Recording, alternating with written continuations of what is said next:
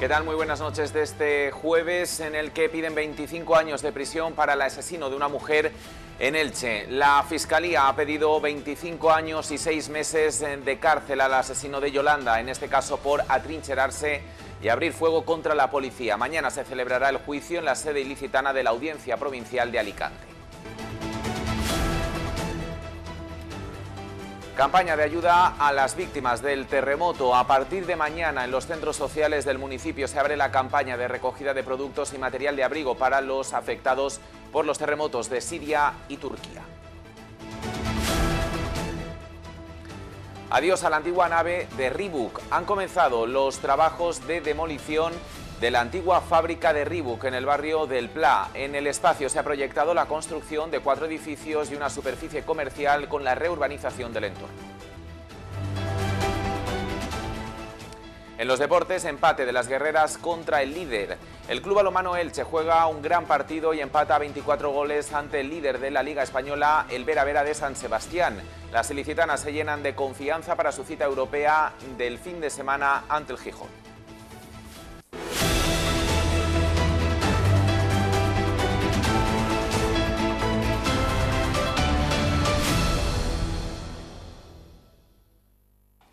La Fiscalía ha solicitado 25 años y 6 meses de prisión al asesino de una mujer en Elche por atrincherarse y disparar a la policía. El hombre, que contaba con un importante arsenal, acabó con la vida de su pareja en el barrio de Los Palmerales el día de Navidad de 2021. Mañana se celebrará el juicio en la sede ilicitana de la Audiencia Provincial de Alicante. El hombre que se atrincheró y disparó contra la policía con un fusil automático cinco días después de matar en Elche a su pareja Yolanda se enfrenta a una petición de 25 años y medio de prisión por allanar el domicilio desde el que intentó acabar con los agentes que acudieron a su detención. Este juicio se circunscribe a lo ocurrido a la jornada de la detención, ya que la vista oral por el crimen machista aún está pendiente y se celebrará en una fecha futura, en la sede de Elche de la Audiencia Provincial. También el Tribunal Superior de Justicia Valenciano, este hombre será juzgado mañana a partir de las 9.30 horas en la sede ilicitana de la Audiencia Provincial de Alicante y la Fiscalía reclama penas que suman 25 años y 6 meses de prisión por un delito de allanamiento, dos de homicidio en grado de tentativa y otro de tenencia ilícita de armas por poseer un Kalashnikov y una pistola de 9 milímetros y un depósito de armas de guerra. Este hombre está acusado de matar a Yolanda el día de Navidad de 2021. Cinco días después, en la madrugada del 30 de diciembre, se personó en un local de la calle Ausías March de Elche donde se ejercía la prostitución y que era regentado por su ex suegra. Allí pretendía encontrar a su ex compañera sentimental y a la hija menor que tiene en común con ella, pero según la fiscalía, tanto su ex suegra como las trabajadoras del local eran conscientes de que estaba siendo buscado por matar a Yolanda y le negaron la entrada y llamaron a la policía. Las mujeres se refugiaron en un bajo contiguo donde habitualmente residen, pero el acusado forzó la puerta y la cerradura y accedió al interior de la vivienda, donde se atrincheró y disparó en diversas ocasiones con una pistola y el fusil automático a los agentes del Cuerpo Nacional de la Policía que habían acudido a detenerlo y que, no obstante, resultaron ilesos, antes de conseguir que se entregara tras una negociación. El asesinato de Yolanda, el último crimen machista de 2021 en España, se efectuó de un disparo en la cabeza en la vivienda del barrio de Palmerales de Elche y dejó huérfanos a un niño de 10 años y a una niña de 3. Elche enviará un convoy con ayuda humanitaria para los afectados por el terremoto en Siria y Turquía. El ayuntamiento, junto a Ayuda a Personas Refugiadas de Elche y la Fundación Conciencia T, piden la colaboración ciudadana para recoger en algunos centros sociales del municipio sacos de dormir y mantas nuevas, tiendas de campaña compactas, leche en polvo o leche condensada y latas de verduras, pescado o fruta.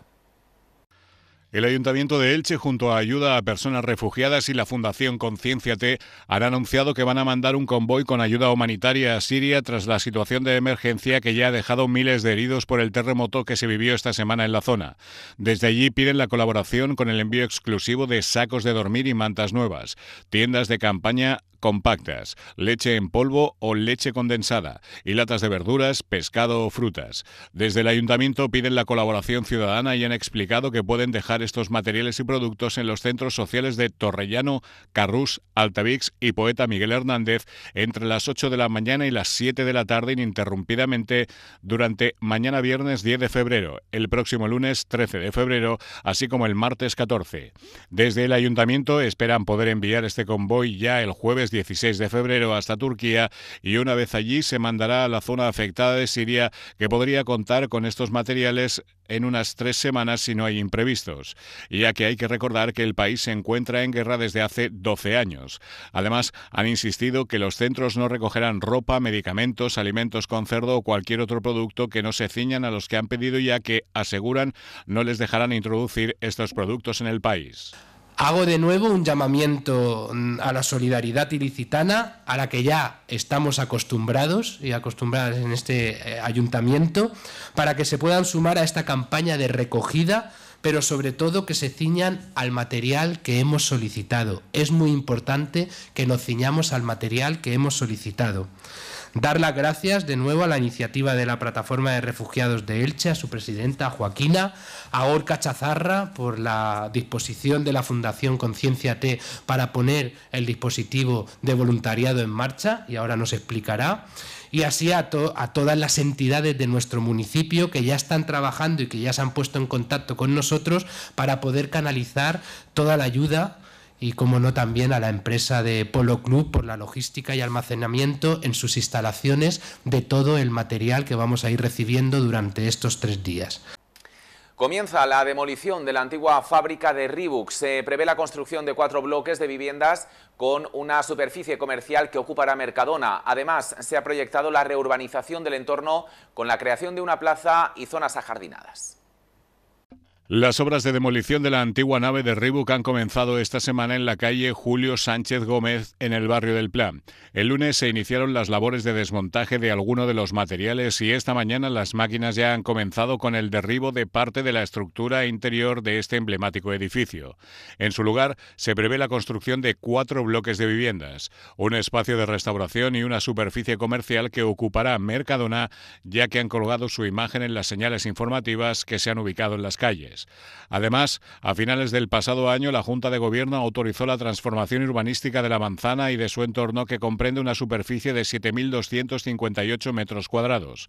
Una actuación que se estima que tenga un proceso de ejecución de en torno a medio año, que permitirá también la apertura de una gran zona verde de 2.455 metros cuadrados, con una plaza central, caminales peatonales y juegos infantiles. Una vez se consolide la reurbanización de esta manzana, se dará paso a la edificación de los cuatro bloques y la superficie comercial que prevé su apertura el próximo año con un modelo de tiendas más eficientes. El Gobierno municipal considera que esta actuación va a permitir revitalizar y modernizar este punto del barrio del Pla, donde además existen otras naves sin actividad. En crónica política, el Partido Popular de Elche pide al gobierno municipal que actúe en el antiguo edificio de Correos. Acusan a la Generalitat y al Ayuntamiento de Elche de vender humo después de estar ocho años anunciando proyectos en el lugar sin llevar ninguno a cabo.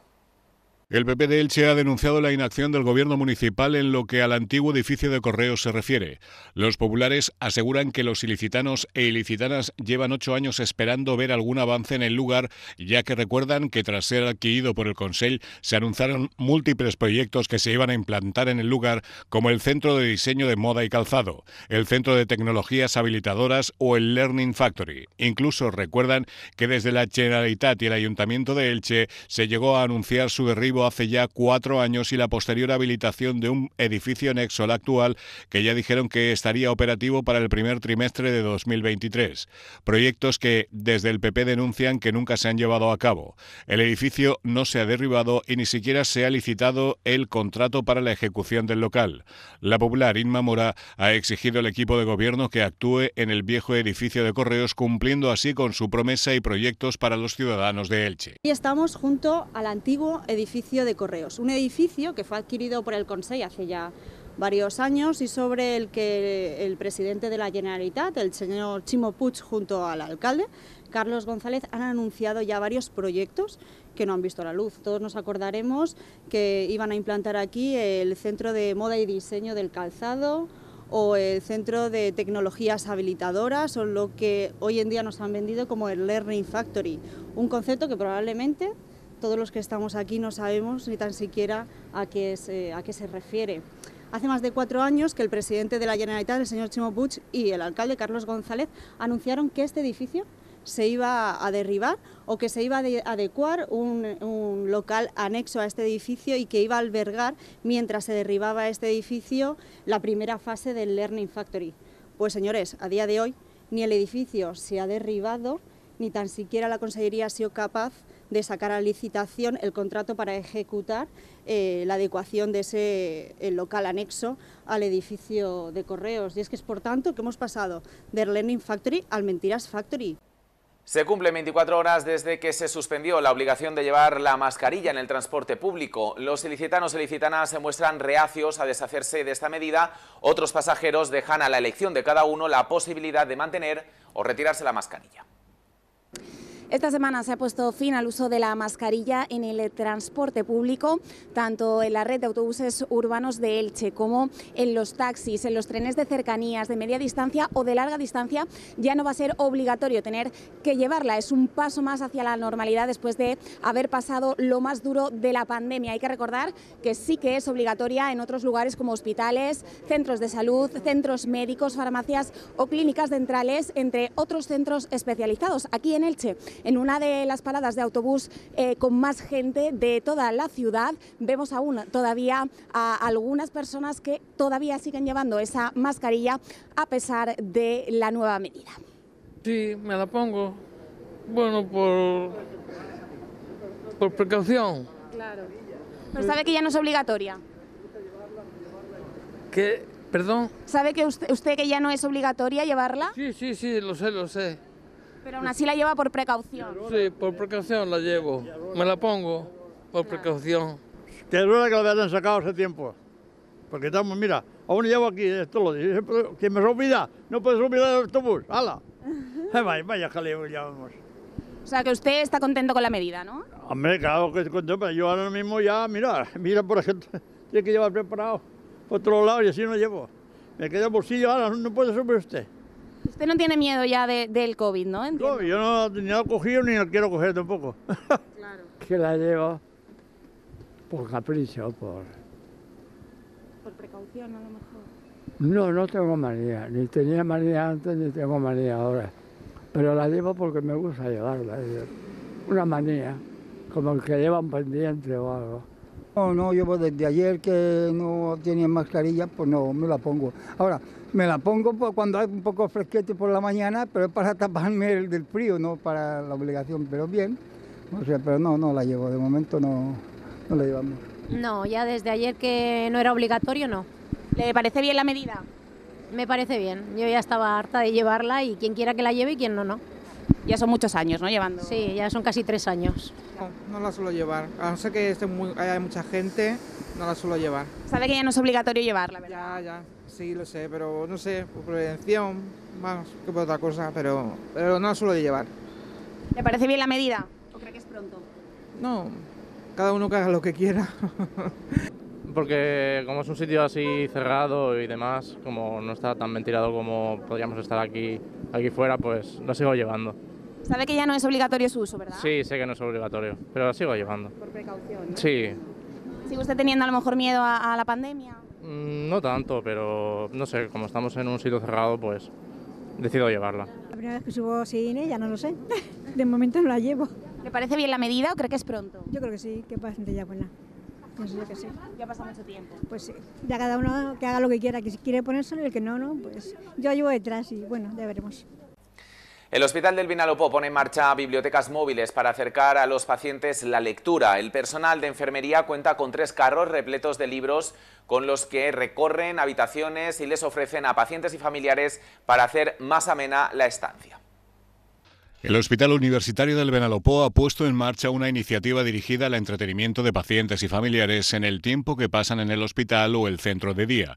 Para que puedan aprovechar estos momentos de espera o de acompañamiento para leer, se han creado tres bibliotecas móviles que el personal ofrece a las personas ingresadas, a sus acompañantes o a los que se encuentran en el centro de día. Tres carritos repletos de ejemplares de libros de lo más variado recorren el hospital para que ellos mismos puedan ver lo que hay y elegir su lectura. Ese nuevo servicio servicio pretende fomentar la lectura como herramienta para favorecer la recuperación y combatir la soledad o el aburrimiento, es decir, la lectura como parte importante del cuidado global del paciente. Las bibliotecas móviles cuentan con un fondo bibliográfico de más de un centenar de ejemplares donados por usuarios, pacientes y los propios profesionales que han querido adherirse a esta iniciativa. De esta manera no solo se ofrece un servicio al paciente, sino que se ha fomentado la solidaridad y la faceta emocional de la recuperación de los enfermos. Desde la dirección del centro se espera que este servicio de lectura gratuito consiga hacer algo más llevadera la estancia hospitalaria de pacientes y familiares. Mañana comienza una nueva edición de Caravaning, el evento de ocio y tiempo libre en Fira Alacant. Los dos próximos eh, fines de semana se podrá acudir a esta cita que ya es un clásico que alcanza su edición número 30. Caravaning contará con la presencia de alrededor de 50 expositores encargados de exhibir múltiples vehículos para que los visitantes conozcan de primera mano los modelos de cada firma y a su vez puedan adquirir su vehículo hogar multidisciplinar a un precio competitivo. La feria contará con una superficie bruta de 13.500 metros cuadrados, entre las que se expondrán unidades limitadas de caravanas de gama media y alta de las primeras marcas del mercado europeo. Además, los visitantes también podrán encontrar caravanas y autocaravanas seminuevas y de alquiler. La feria contará, como en ediciones anteriores, con un espacio dedicado enteramente al camping caravanín, en el que se mostrarán todas las posibilidades y servicios a los amantes del estilo de vida en contacto con la naturaleza, además de una zona de food trucks para que los visitantes puedan parar durante su visita a comer y a descansar.